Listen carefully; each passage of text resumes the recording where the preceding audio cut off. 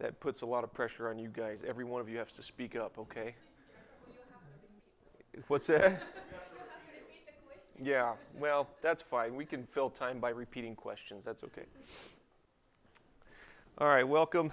We'll get started.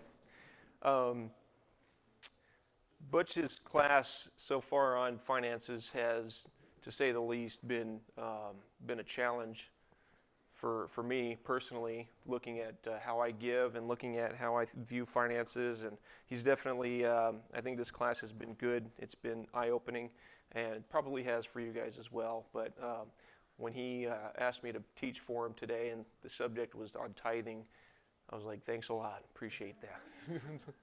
um, so uh, we're gonna we're gonna tackle this topic. We're not gonna, I shouldn't say tackle it. We're gonna reach out and kind of try to trip it a little bit and see what happens. Um, there's a whole lot to, to discuss in the topic of tithing, and we definitely don't have enough time in this uh, 45 minutes to really get a great grasp um, on the topic. And um, and it's one thing that it, it, in preparing for this, and that most all of this is basically coming from what Butch has prepared for me to say today. Uh, but I've also gone and, and, done my own little study on it in, in this last week. Uh, not an extensive study by any means, but wanted to kind of refresh and, and uh, brush up on what the topic is all about.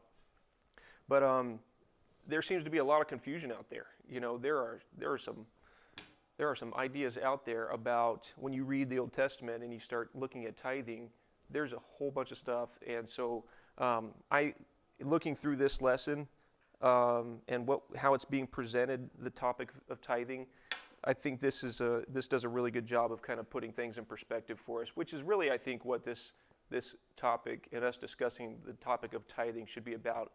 It's not about finding the magic percentage. Uh, it's not about finding the magic number for us to give in order to be right with God every week. You know, um, but as we've been talking throughout this whole quarter, it's about your heart.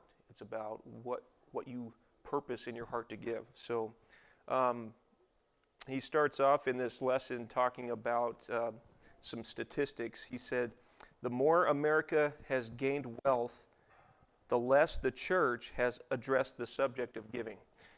And um, I don't know. Maybe that's true. I don't there's no there's no citation it, it, here uh, from where that statement comes from, um, but he, he's bringing up here the possibility that there's a correlation between us not addressing the subject of giving on a regular basis, and there seems to be a declining percentage of giving by Christians. So, in fact, statistics say that churchgoers have been steadily giving less uh, over the last 30 years and there's some IRS data that shows that dollar for dollar, the average American gave more during the Great Depression than they do today. And so, again, I don't know exactly where that information came from, but I thought it was interesting. And um, um, so I went out and started to look for statistics. I, I, I like statistics, I like charts and graphs. Um, I came up with, um, I came to this website, the Barna Group. The Barna Group is, um, We've got some information on what they're all about. Um, it's a visionary, re- this is from their website. They're, they are a visionary research and resource company located in Ventura, California. They started in 1984. The firm is widely considered to be a leading research organization focused on the intersection of faith and culture. And uh, what I came up with is a study that they did called what motivates Christians to give. And um, uh, over the years, Barna research has revealed a lot about Christian habits, uh, giving habits, motivations of U.S. adults, uh, particularly uh, churchgoers and Christians. So, one of the uh, topics that they discuss in this article is for Christians, emotions tend to motivate our charity. Some of the main reasons when they polled all of these individuals, they polled Christians and non Christians. Christians were defined as um, somebody who would say that their faith is very important to them, their belief in God is very important to them, and they have attended a church service within the last month. So it kind of gives you an idea of, of the kind of the spectrum there of, of who they're, they're putting in this category of a Christian. And then they pulled non Christians as well. one of the main, uh, it says that they believe people that gave, the main reasons that they got involved in a cause was primarily emotionally based. Um, they believed that uh, they could make a difference. Like 62% said that they give on a regular basis because they feel like they can make a difference. So that's an emotional thing. Or they saw or heard uh, a moving story. Anybody had a moving story kind of move them to take action? Um, more than a third of adults remembered giving, uh, being driven by an overwhelming sense of purpose. That was 38%. So there's all these different emotions that cause us to take action, that may cause us to give. The motivations for selecting a specific organization to support are also often made emotionally. Heart centered, um, emotional things drive us to do these things. There might be a special interest that you are uh, interested in, a, there might be a personal interest that you are interested in. Um, you know, there's a lady that I know who recently, her husband was diagnosed with uh, it's a, it, it, amounts to kidney failure basically. He needed a kidney transplant, and um, so obviously that motivated her to start up a collection for her her husband to get this kidney transplant, and so it was going to take money. Um, she started up this this cause, and that became her number one priority, of course, right? And and not only that, she felt like it should be everybody else's number one priority. So she was reaching out to everybody, saying, "Please help. You know, this is here's the story and uh, and she saw this as because it was the most important thing, and she was emotionally invested in this thing. She thought, not only should I drop what I'm doing and make this my number one goal is to raise this this money, but I need to make it everybody else's number one goal as well. And so, and I think that's true that any one of us would would do that. Just a few more statistics, and then we'll jump into this lesson of tithing. Christians are most likely to give to where? Would you say? Church, yeah, and uh, church and or uh, missions. A majority of practicing Christians, 91%, if you say you're a Christian, 91% say that they've given money to the church. Not a huge surprise. Many uh, donors likely assume other needs are or causes are being addressed or at least financially supported through the church, and that's why they give through their tithings, their off- offerings, uh, trusting that their church uh, is going to be a facilitator for further giving and, and uh, meeting the needs of others. For um, there's a bunch of different categories of where people give non-practicing Christians versus practicing Christians. Things like church, missions, local organizations, um, medical aid, political groups, refugee settlements, all these different things that people tend to be charitable towards and give their money to on a regular basis or semi regular basis, um, the church or practicing Christians outgive in every single one of those categories. So when you think about non practicing Christians versus Christians, giving to a local church, and again, non practicing Christian is somebody who hasn't gone to church in the last month but says that their faith is important to them. 48% versus 91% missions 29% versus 75%, and, and on, on down the line. So it says something about, you know, um, being a Christian, and there's a correlation, it seems, with the, the more, I, I guess, you're going to give more, I guess, if you are a Christian, I guess you could say that. Um, and there's probably many reasons for that. Of course, one of the reasons is we're commanded to give. So, um, most Christians, let me ask you this question, and this might be a question that Butch has asked in the class before. What would you consider to be the ultimate financial goal in your life? And this is where you all get to talk. What is the ultimate financial goal in life? To spend it all? okay. yeah, on what? Okay. what do y'all think? And it gets a little personal, but that's okay. There's only a few of us in here, so we're family. What's the ultimate financial goal? To retire?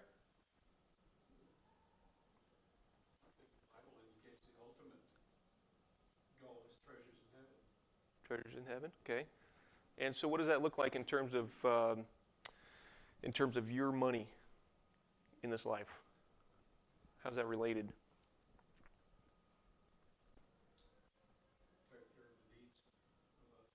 Take care of taking care of the needs of others. Okay. And who said uh, retire? Retire. Alex. okay. No. Okay. It's good. All right. What else? Wendell.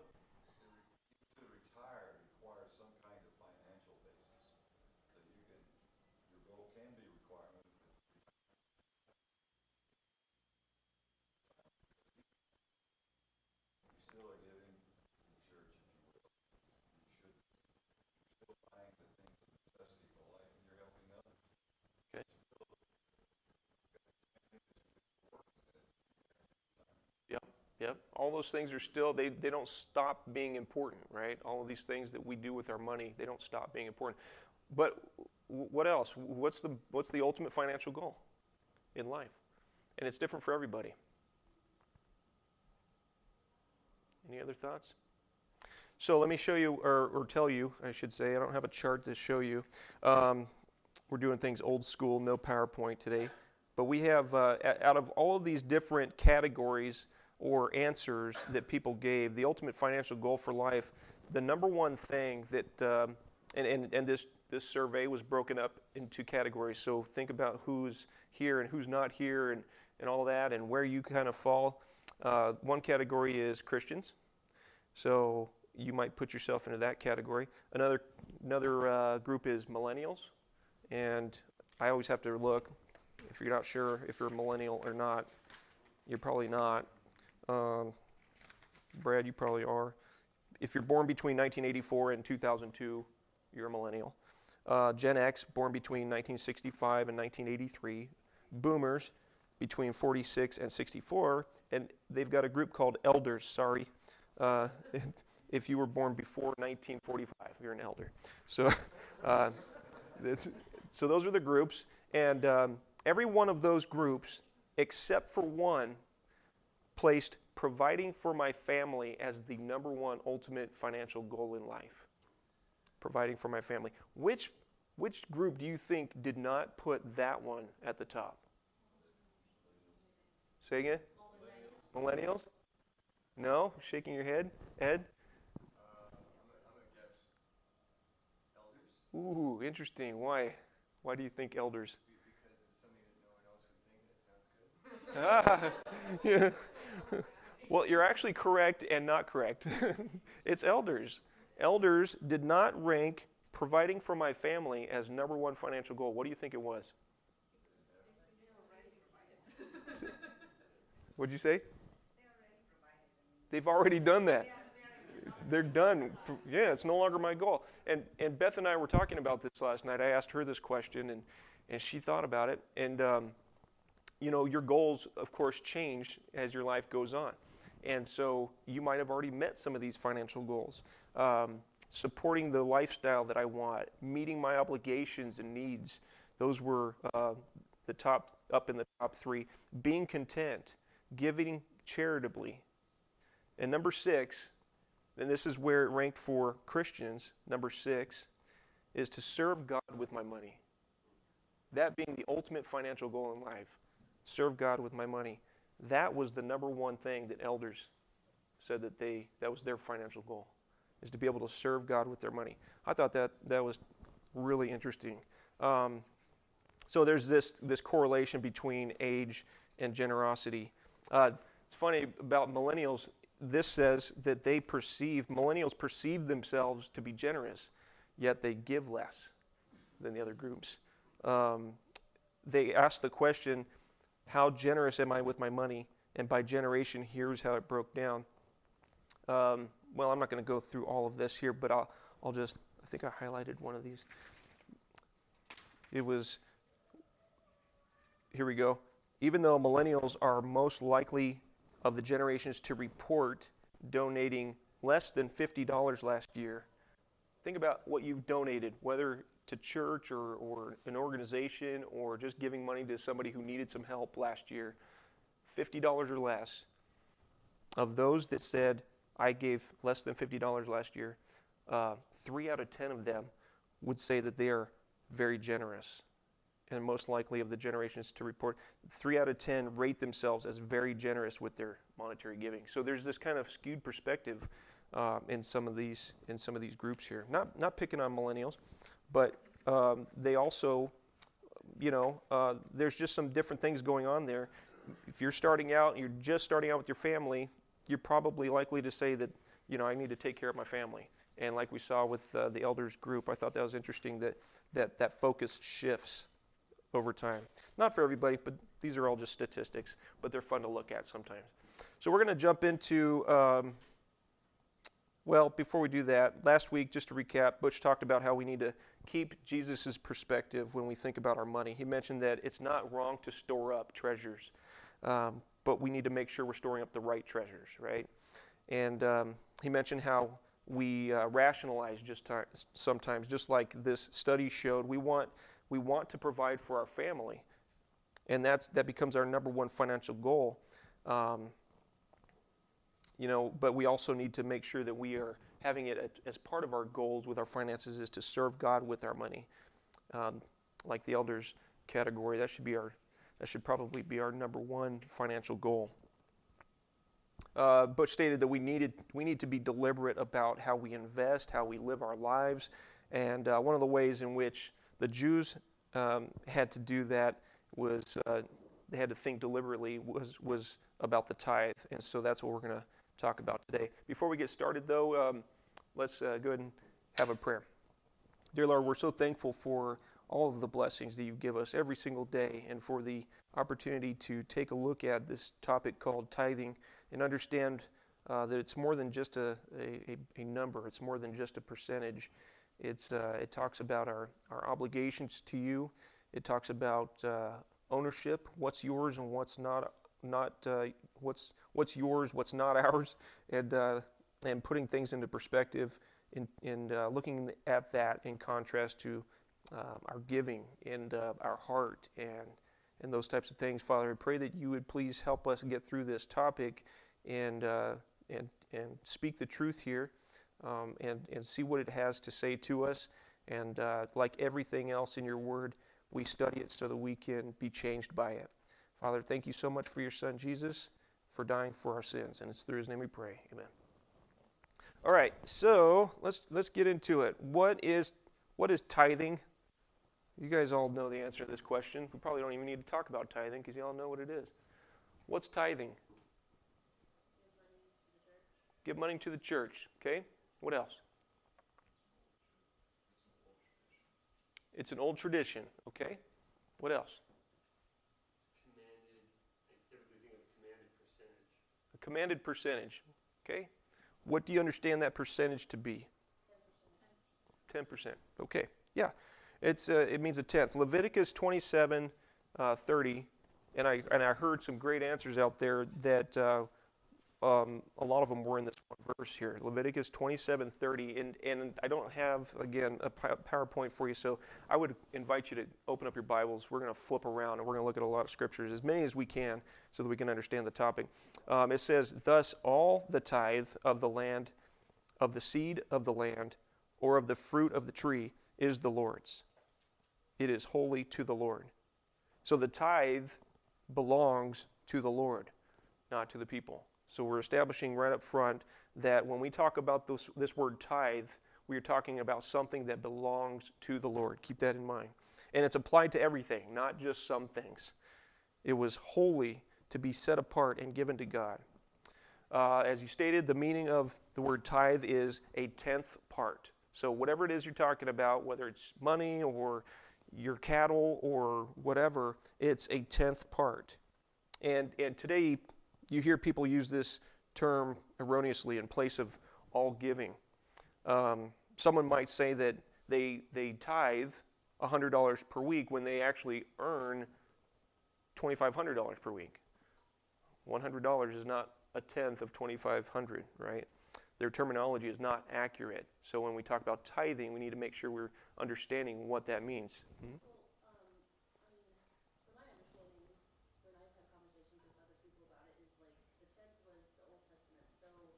more about giving with your heart. So if you're like, I don't have a hundred dollars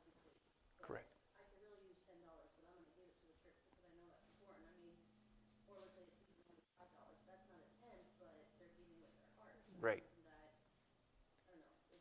You're absolutely right that there's a difference between um, a tithe and something that we are giving from the heart. Okay? A, tithe, what we're pointing out here in terms of the definition of the word tithe, it means a tenth. So if you are choosing to give something other than a tenth, you're not giving a tithe. You're not giving 10%. Okay?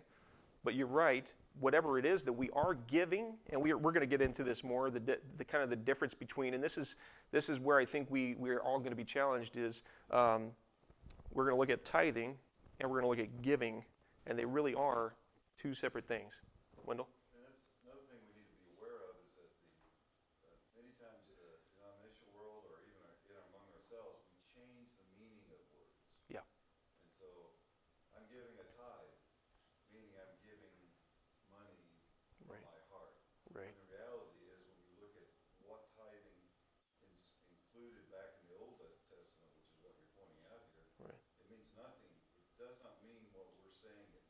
Right. We the meaning. Correct. Like we have a miracle. No, my doctor reset my broken arm and put it in a cast. It wasn't a miracle. It was his skills of resetting my arm that mm. helped heal. Right. You know, it's the way it was set up. Sometimes we get those crossed because we yep. want either hyperbolic phrase or we just want to praise God in a way that's, you know, how do we Right. Yep. Wendell's pointing out that sometimes with some of these terms like tithing or miracles or what have you, that sometimes we take the word and we change its meaning as far as what we understand it to be, and uh, that that's exactly right. That and as we're going to see here, there's there's a difference between tithing and giving. We'll get into it in, into that uh, more, but the term tithe means 10%. So if you're giving 2% or 4% or 6% or whatever that number is that you've purposed in your heart to give, that's it's just we're just pointing out that, that that's not what a tithe is. A tithe, a tithe is 10%. The, the Israelites were warned that to present to God anything less than a full 10% was to rob God. That comes from Malachi 3 uh, 8 through 10, which Richard uh, talked about this in his class last quarter. I think it was last quarter. Will a man rob God? Yet you are robbing me. But you say, How have we robbed you? In tithes and offerings. You are cursed with a curse, for you are robbing me, the whole nation of you. Bring the whole tithe into the storehouse, so that there may be food in my house, and test me now in this, says the Lord of hosts, if I will not open for you the windows of heaven and pour out blessing until it overflows. I think we like to focus on that last part of that verse. Test me in this, right? Uh, if I will not open up the windows of heaven and pour blessings out, overflowing, right? We, we like the idea of receiving all those blessings. But sometimes we have a hard time holding on to, uh, holding or letting go of, I should say, uh, some of those blessings and giving back to God what He has commanded to give, which in the case of the Israelites was that 10%. They were commanded to give, it wasn't theirs. For every, think about it like this for every, uh, um, for every dollar that you give to your kids, maybe it's an allowance or something like that, uh, I give $10 to one of my sons for an allowance, and uh, none of it was his to begin with, right? It all came from me.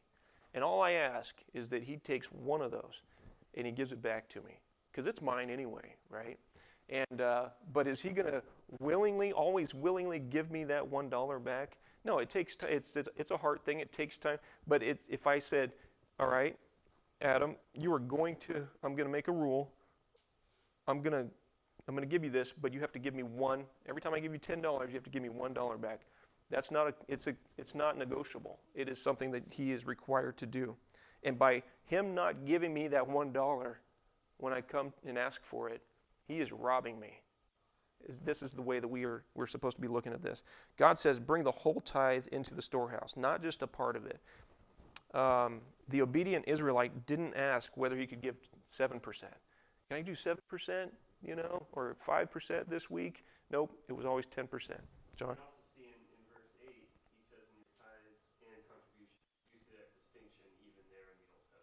Yep.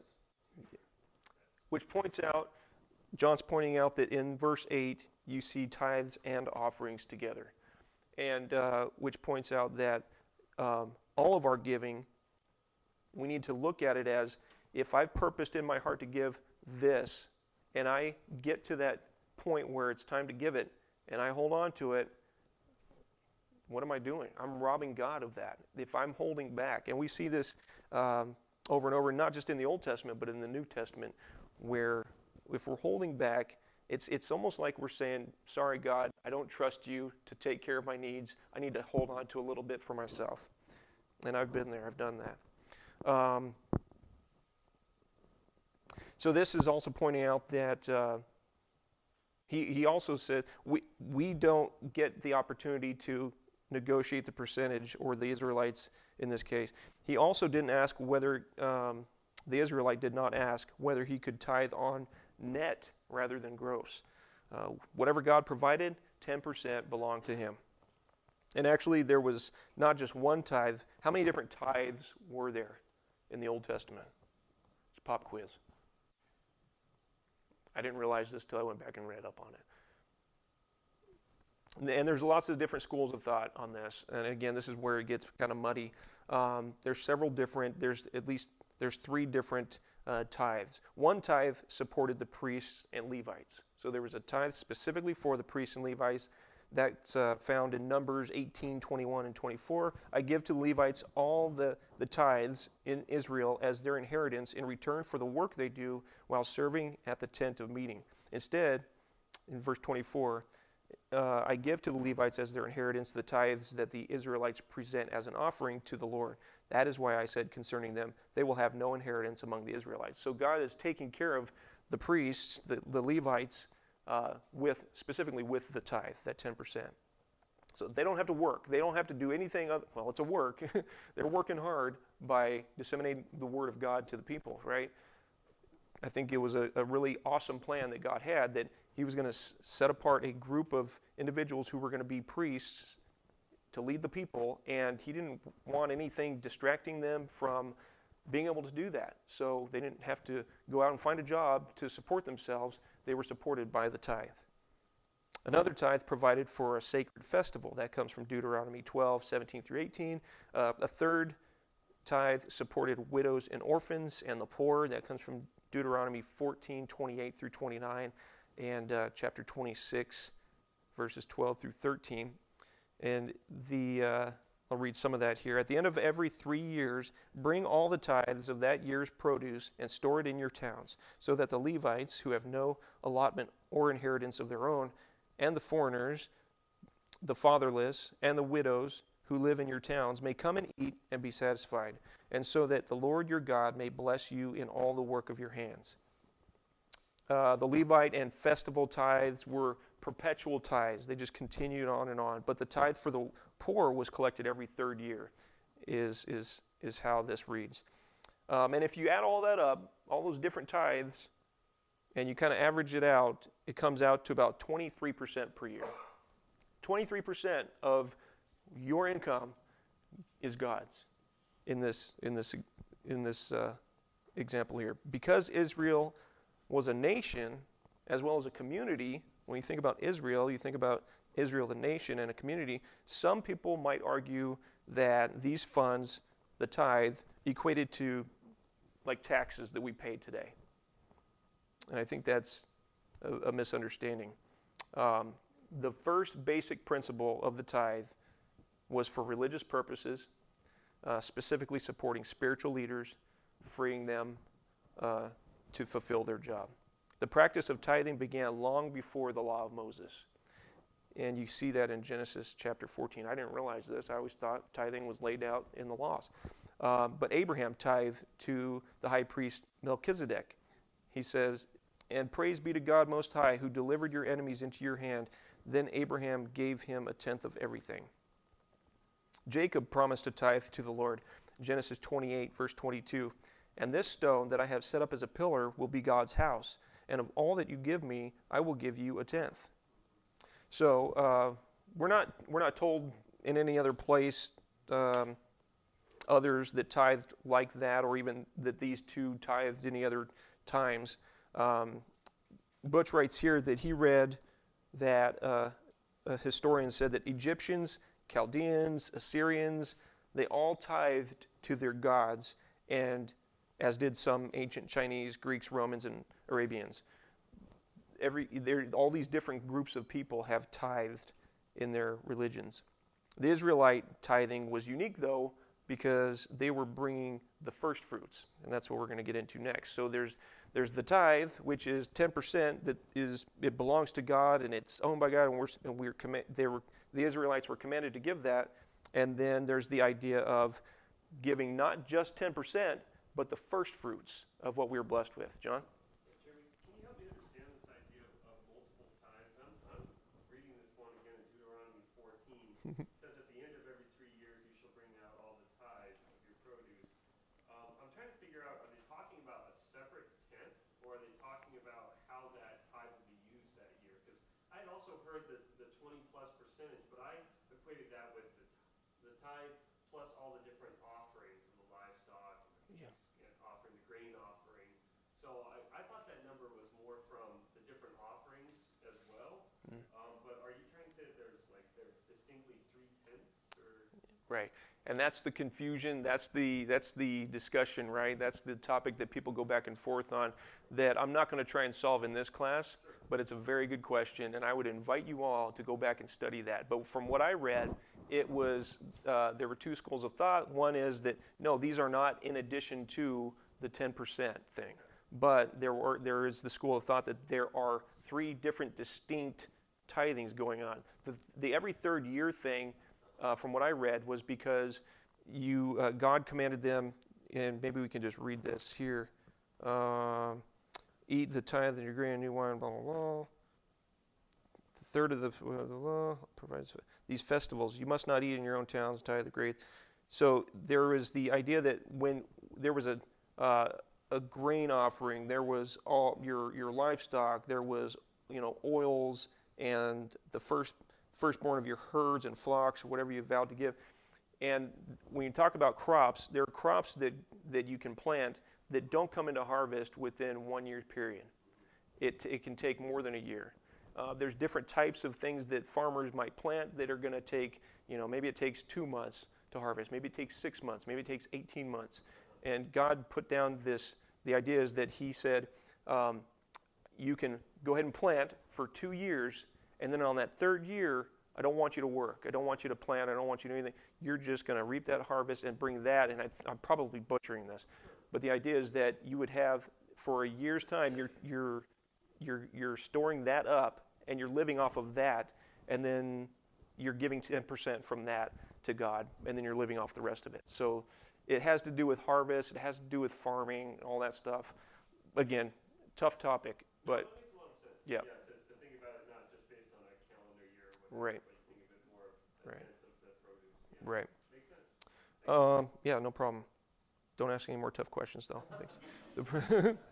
uh, so we said that, let's see, first fruits. Okay, Proverbs 3 9. Uh, honor the Lord with your wealth, with the first fruits of all your crops. Oh, here's, here's kind of where it is. Two to three times a year, the children of Israel were to bring an offering of first fruits to the Lord. And God said in Exodus 23 15, in the last sentence, uh, no one is to appear before me empty handed. These first fruits included the first product of a vineyard, uh, the first annual product of grain, wine, olive, and sheared wool from Exodus. In Deuteronomy 18:4, you are to give them the first fruits of your grain, new wine, and olive and olive oil, and the first wool from the shearing of your sheep the first of any meal, the first of any coarse meal, Numbers 15, 20 through 21. Present a loaf from the first of your ground meal and present it as an offering from the threshing floor. Throughout the generations to come, you are to give this offering to the Lord from the first of your uh, ground meal. So we learn by all this that tithe talks about the amount, 10%. Um, and first fruits talks about the nature. So, giving you the very first of what you blessed me with. And the same principle applied to their money. The tithe was recognized as God's. Because of this, the people did not give at, uh, they did not give a tithe, but repaid it to the owner. So that's an interesting way to look at tithing. They are not giving it to the Lord, they are repaying it to the owner of all things. the Old Testament speaks of bringing the tithe. It talks about taking the tithe, presenting the tithe, or even paying the tithe.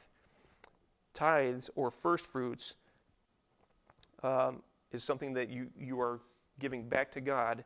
It's not something that you are offering or, giving in, in, the ter- in the sense of the term that we use today, giving.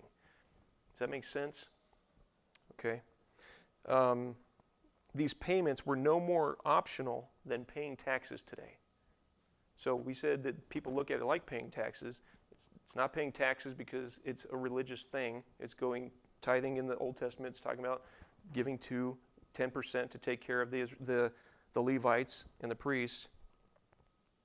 Um, but in the same way that you can't get around paying taxes, for the Israelites, these payments were not an option. You could even say that an Israelite paid tithes and first fruits out of obedience, whether they wanted to or not. But the Old Testament also emphasizes free will offerings. Okay, so Katie, this is back to you.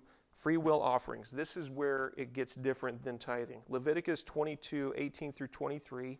Um, I hope you're jotting all these down. Numbers 15, 3. Deuteronomy 12, 6 and 17. Um, in Exodus 35, 29, it says, All the Israelite men and women who were willing, who were willing brought to the Lord free will offerings for all the work the Lord through Moses had commanded them to do. These were voluntary contributions beyond the tithing or the first fruits. So this goes over and above tithing. Yes. Whoop. That was Exodus 35 29. Okay? And so we might say that these were, these were true giving since the tithe was more of a debt paid to God, not necessarily a gift per se. If we think of Old Testament giving as dreary or you know dutiful, then we could be wrong in, in the way that we look at giving. In fact, the Bible records that the Israelites got caught up in the thrill of giving. What's the ver- what's the, the story in the New Testament that, that we read about that we go, wow, that's so cool, where everybody had everything in common and everybody was selling property and giving to those. And we've talked about it several times in this in this class this, this quarter. You remember the story? Acts 2. Acts 2, where the church is really just starting to get going. God's blessing them, and there was they wanted to make sure that nobody was without. So all that had property and and land, they were selling things and they were giving so that nobody was left behind. We see a similar um, passage, and I didn't realize this, and this is where we get into free will giving, kind of like in Acts 2. If we look at Exodus 36, 4 through 7, Exodus 36, 4 through 7, it says, And all the skillful men who were performing all the work of the sanctuary, sanctuary came, each from the work which he was performing. And they said to Moses, The people are bringing much more than enough for the construction work which the Lord commanded us to perform. So Moses issued a command, and a proclamation was circulated throughout the camp, saying, Let no man or woman any longer perform work with the contributions of the sanctuary. Thus the people were restrained from bringing any more, for the material that they had was sufficient and more than enough for all the work to perform it when have we ever in our congregation said, stop giving? We're good. You, you don't need to come and work anymore on the building. You don't have to you know, bring your offerings anymore to, to set things up here where we're trying to go. We've got way too much resources now. You can stop giving. The emphasis here isn't, it's not on the amount though or the cause but the willingness of each person's heart. Here, it wasn't the tithing, but this was giving over and, and above tithing. Wendell? Verse 3 of that, in the New Century Version, the latter part of that verse, it says, The people continued to bring gifts each morning because they wanted to. Yeah. It wasn't because they had to. Yeah. To. The King James it a free will offering. Yep. We should have started with verse 3. I don't know why. Butch didn't Butch didn't have me start in verse 3. I don't know why. Okay. but it, I thought that was a neat Yeah. way of emphasizing what you were talking about. is The people were just here. They kept bringing it. They kept bringing this stuff. Can you read that one more time, Wendell? Verse 3. Uh, Well, starting in verse three, they received from Moses everything the people of Israel had brought as gifts to build the holy temple. The people continue to bring gifts each morning because they wanted to. They- yeah. exemplary right there. They continue to bring gifts each morning because they wanted to. John? Yeah, there's another story that's always um, uh, stuck out to me as well in the Old Testament. In First Chronicles 29, you see a similar thing when they're raising funds for the temple, where they uh, there was an outpouring of giving, and then in First Chronicles 29, 9, it says, "Then the people rejoiced because they had given willingly, for with the whole heart they had offered freely to the Lord. David the king also rejoiced greatly." And you see that again, they're moved in their in their heart. And it is interesting going back to what you're talking about, what motivates Christians to give, because absolutely you see emotion here, right? Yep, you're absolutely right. That was here too. First Chronicles 29, the story in verses 6 through 9. And then down in 14, um, like you pointed out, uh, this is David who's saying to the Lord, But who am I that, and, and who are my people that we should be able to offer as generously as this? For all things come from you, and from, from your hand we have given you. From your hand we have given you, right? It's not from us.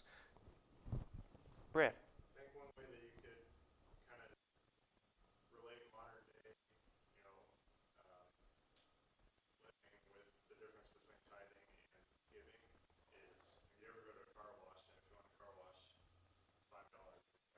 You get five dollars to get your car washed. Wait a minute, where are you going to get your car washed? It's five dollars. I, I need to know. Then, uh, you know, you ever go to those where they're fundraising for a charity or a school Yeah. project or something like Okay. that, and it's, you know, donations welcome. There's really no minimum or maximum limit to that. I think God easily today in the New Testament um, church could have said, you know, it's going to be five percent, ten percent, fifteen percent, whatever, and you know, no more, no less, and that's that that commandment. But he leaves it open ended because he wants to measure us as people, kind of our our hearts, and I think you know you go to those fundraisers and you could get away with giving twenty five cents, or you could get away with giving fifty dollars or whatever. It's kind of the measure of you as a person and the measure of how much you care about that cause. Yeah. So it's kind of the same thing now. It's a measure of how much you care about God and um, kind of what He's done for you. I think you're exactly right, Brad, that maybe one of the reasons why we are not given a certain target, a per- certain percentage of a specific number to hit in the New Testament as far as our giving goes, is to leave it open ended, as you put it, so that God could measure where we're at in our hearts with our giving. I like that. Wendell? It also puts it back on us to know our heart, to know that if I don't, if I'm giving out of, you know, if I'm giving to the, out of the, my, what I purpose, and I do it in a way that's generous, it's totally on me. Yeah. I mean, I'm not obligated by some law, Right. it's totally on me how much I give. Right, and and we we say it um we say it a lot to kind of justify that you know when when we struggle with how much should I give, I hear this a lot. Well, God doesn't need my money, you know. God doesn't need your money, and and you know, okay, God the uh, supplier of all that there is. You're right. He does not need your cash. Um, but just like the principles that we have in the Old Testament that give that tell us that there is something to be said for setting aside a specific, you know, goal to take care of those and the church that to continue that on. In a way, God needs your money. God, if, if you were not giving, if you were not coming here and giving to the church, how would we all be sitting here today under this roof? How would the lights be on? How would we be able to contribute to missions? How would we be able to contribute to all these things that we care about? We would have to go somewhere else to do all of that, right? Which you can do. But um, it is a measure of our heart. And, and, and I'll just say to wrap up, we didn't get through all of it, but the main point is we can look at the Old Testament and we can look at tithing as a certain percentage, and we can understand that you can go with that as a starting point if you want that but that that was god's right? So don't think that by looking at tithing as i'm meeting my obligations to god you're doing it for the wrong reason. You might be doing it for the wrong reason when you think that that is your giving. Your giving should be a free will offering and i'm talking to me and it and it and maybe it maybe it needs to go over and above what's already god's. So that's the challenge for us is to take a look at how we're giving, grow in this area, and like Butch said, let's be purposeful and uh, deliberate in, in when we think about it. Thank you. Have a good day.